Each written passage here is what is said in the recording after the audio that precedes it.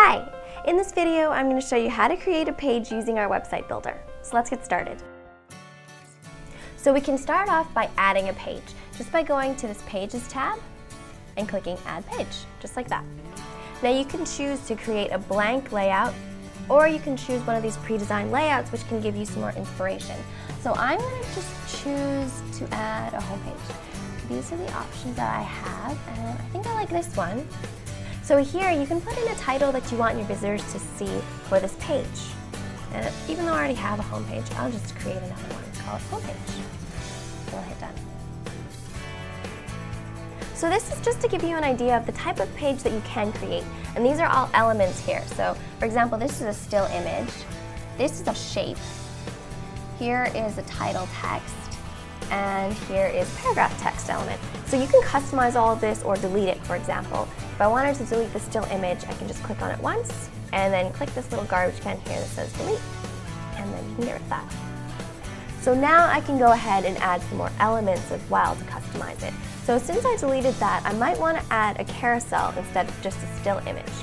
So to do that, you can click add, and under image, I'm going to choose a carousel.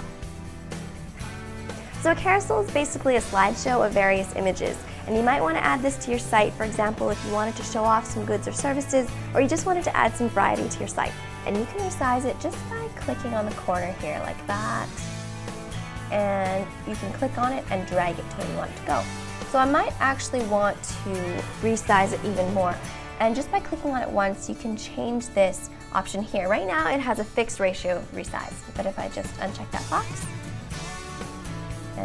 and the portions of it. So you can edit it either by double clicking on it, or you can click on it once and hit to edit the carousel or edit the settings, etc., whatever floats your boat. So I'm just going to hit edit carousel. So these are the images that are already in it, and I'll just delete them.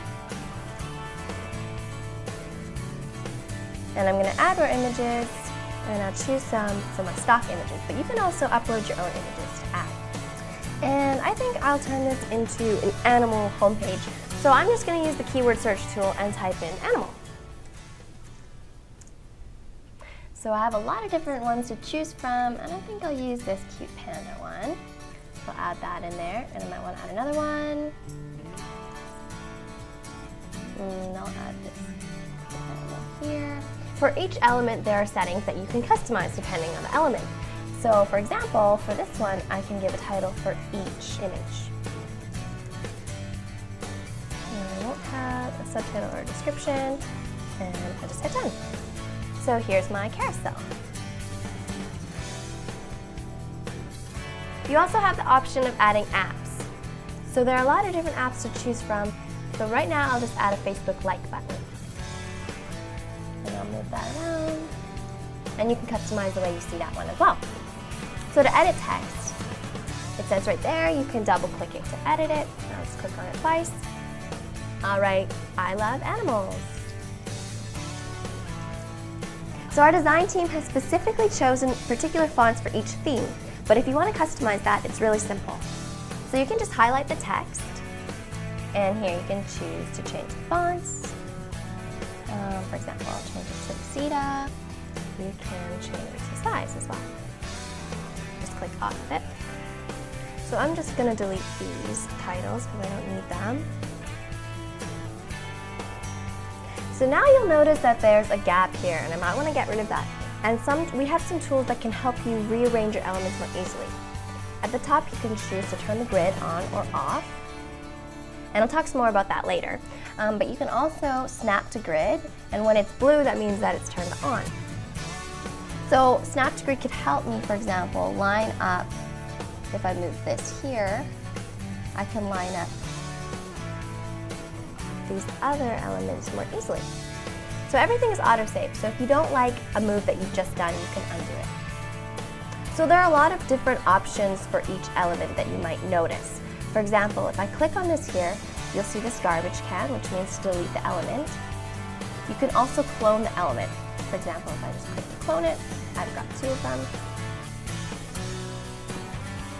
And all of these options here have to do with layers.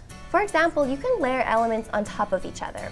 And this allows you to choose which ones you want to be on the front and which ones you want to be on the back.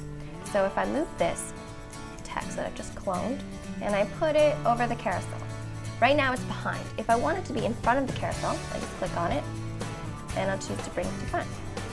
Now it's in front of the carousel.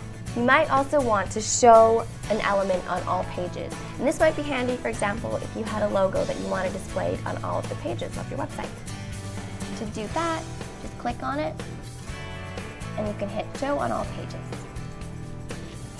You'll also notice that with this theme, the page is divided into a header section, a body section, and a footer section. And you can customize the size of it, making sure that this guideline is on you can change the size of each section. Just click and drag. So one more thing I want to show you is how you can rearrange the order of your pages and create subpages. So in the Pages section, just by clicking on this, you can click and drag to move it. So for example, I can turn this into a subpage by clicking and dragging it like that. Or if I wanted the Contact Us page to be the last one on the menu, I can click it and drag it. So that's just a basic overview of how to use our website builder. So stay tuned for some more tutorials on how you can change the whole look of your site using our design options and more.